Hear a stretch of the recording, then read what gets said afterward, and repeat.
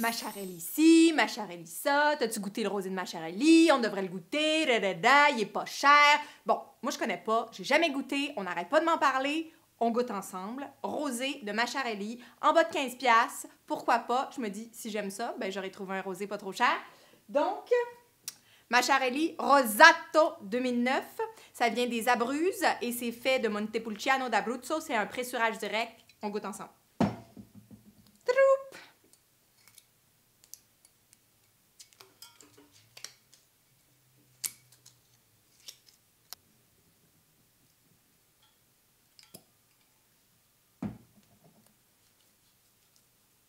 Bouchon synthétique.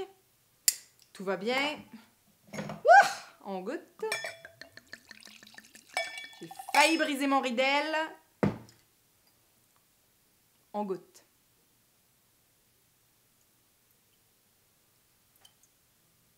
Ça sent le bonbon, ça sent vraiment, il y a vraiment un côté bonbon, bonbon, bonbon.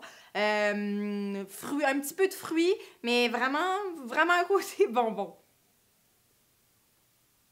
Ouais, vraiment, c'est assez patent en fait. Euh, ouais, fruits, bonbons. Ok, on goûte.